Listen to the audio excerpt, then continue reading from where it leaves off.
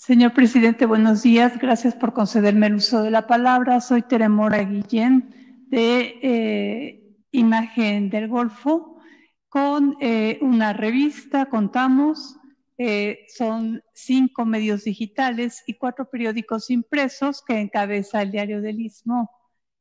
señor, una información, señor presidente, la empresa que represento tiene una encuestadora Impulsos reconocida por sus acertados pronósticos. En la última encuesta en la entidad, usted alcanzó una aprobación del 82.5%, señor.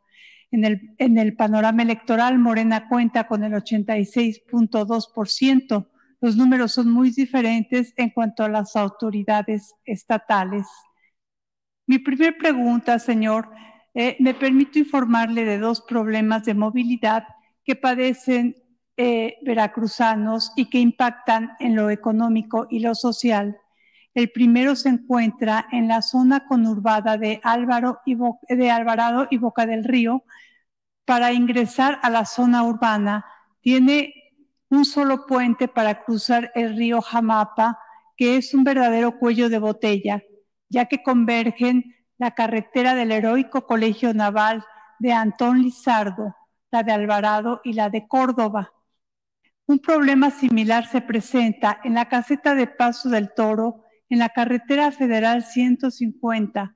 Hay momentos en los que usuarios hacen filas de hasta dos horas para cruzar la plaza de cobro y es sumamente importante porque es un punto que comunica al sur con el centro del país. ¿Habrá oportunidad de llevar a cabo algún proyecto para mejorar la movilidad en el puente de Boca del Río y la caseta de Paso del Toro, señor? Sí, eh, eh, hace falta resolver el problema de la movilidad ahí en Boca del Río, que pertenece eh, Alvarado y Boca del Río es el límite y sí es eh, mucho el tráfico y lo mismo en Paso del Toro, en la caseta. Vamos a analizar, a ver si existen proyectos y eh, qué podemos hacer en, ese, en esos dos casos. Eh, ya nosotros estamos mm, procurando eh, no iniciar obras que no se vayan a terminar. No queremos dejar obras inconclusas. Por ejemplo, en el caso de, de la Cruz, eh, estamos eh, terminando la ampliación de la carretera hacia Tampico, todo el norte, y no va a quedar inconclusa. Eh, estamos en el caso del sureste, estamos comprometidos a terminar la primera etapa de eh, la comunicación en el istmo.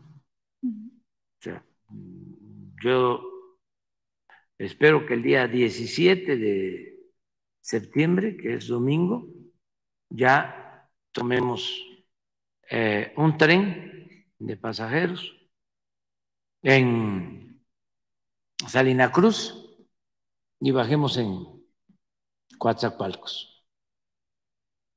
Y ya eh, están licitados los proyectos de ampliación de los dos puertos. Ya estamos terminando la primera etapa de ampliación de los dos puertos.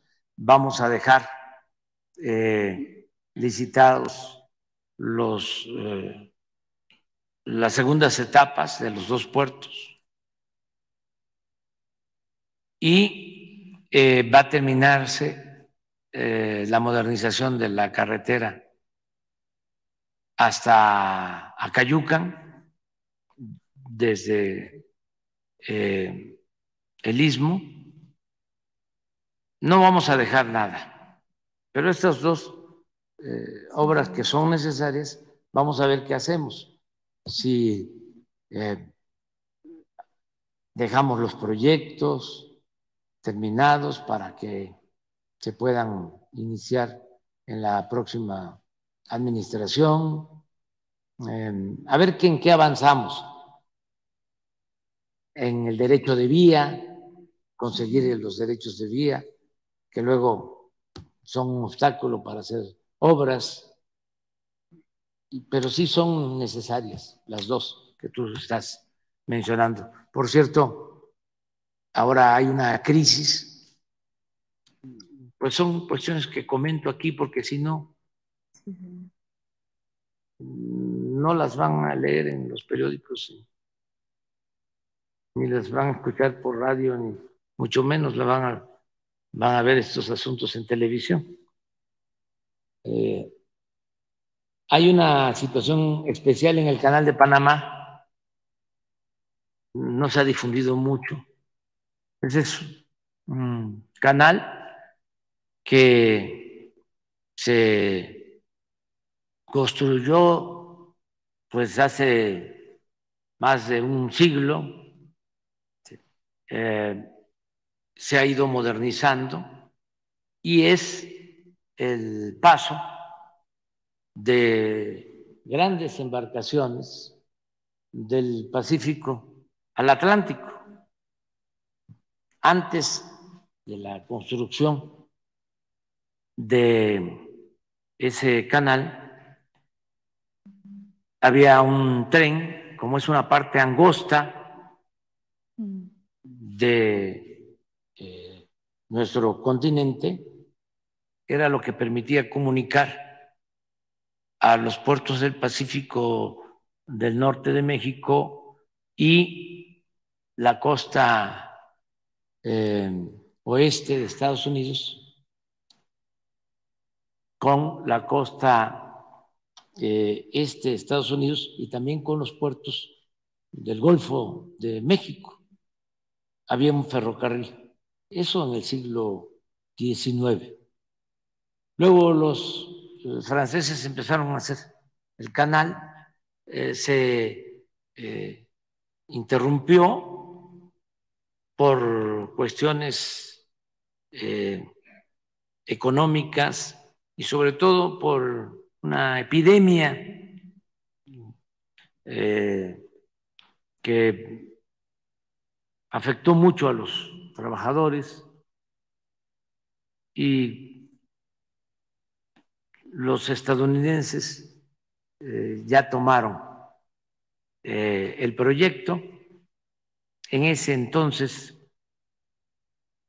se constituyó el nuevo país de Panamá, que pertenecía a Colombia, a lo que se conoció como la Gran Colombia. Entonces, ahí surge Panamá. Tiene que ver mucho con la construcción del canal.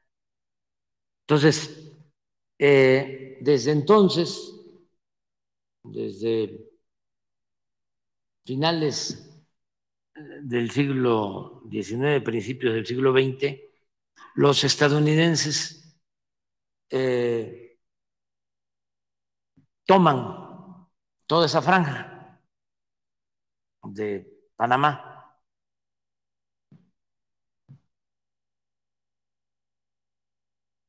y se convierten en los dueños de toda la franja.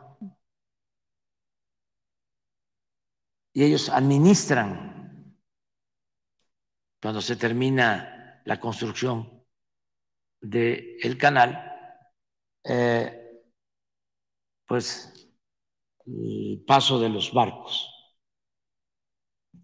Un buen gobernante panameño, en general, Torrijos, logró recuperar la soberanía del canal para eh, Panamá. Eh, logró un acuerdo en ese entonces con el presidente Carter de Estados Unidos. No fue así de inmediato, pasó algún tiempo pero gracias a este gran dirigente panameño se recuperó la soberanía de Panamá, el dominio de Panamá sobre el canal. Y ellos ya ahora administran el canal, los panameños. Eh, y han hecho mejoras y eh, tienen ya eh, canales para barcos de mucho calado, barcos enormes. Sin embargo, ahora han padecido de sequía y no tienen agua suficiente para garantizar el paso de barcos con más calado y están reduciendo el número de barcos que pasan por el canal. Y ya se hizo ahí un tapón.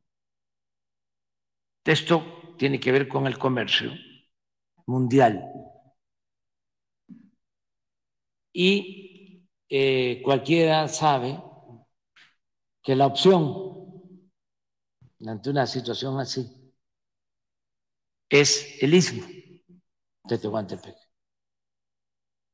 Eh, por eso estamos trabajando en este proyecto, porque es una alternativa. La otra era Nicaragua, eh, era un canal que tenían proyectado, pero al final de cuentas ya eh, no impulsaron ese proyecto. Entonces el istmo tiene mucho futuro y va a ayudar mucho a la comunicación entre eh, los océanos, el Pacífico y el Atlántico. Eh, no sé si puedas poner una imagen del canal de Panamá eh, actual de los barcos que están en espera. Ya hasta se está haciendo una especie de subasta donde se vende y se compra el derecho de paso. Pero ya eh, se habla de 20, 30 días para poder pasar.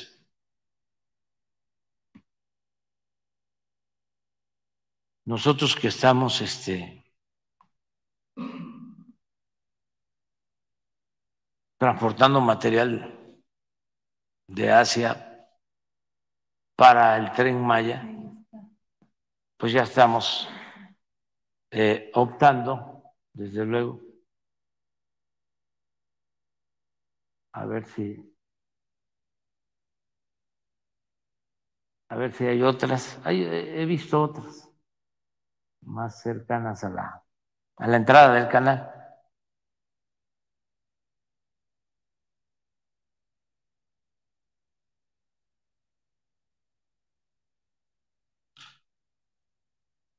Sino que te le envíe el. Puedo, mientras tanto, general, hacer otra pregunta, señor.